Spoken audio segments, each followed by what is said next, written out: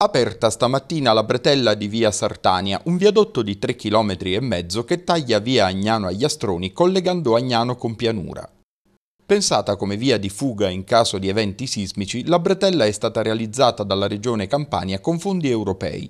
In attesa del collaudo definitivo, il Comune di Napoli ha stabilito un dispositivo temporaneo di circolazione che prevede fra le altre cose il limite di velocità a 30 km orari, il divieto di sosta e il divieto di sorpasso su entrambi i lati mancavano 300 metri di strada che adesso sono stati completati. Comunque è stata aperta la strada, il lavoro in realtà ancora non è terminato perché bisogna terminare tutti i collaudi della strada e delle opere, dopodiché verrà eh, consegnato alla città di Napoli. Io spero che nell'anno 2017 si possa dire veramente fine anche dal punto di vista amministrativo per tutta quanta questa vicenda e sicuramente per un asse importante per tutti quanti questi territori, per il pianura Egnano e per le vie di fuga della città di Napoli. I lavori saranno completati con interventi di tutela idrogeologica e con l'apertura di un parco urbano di 5 ettari.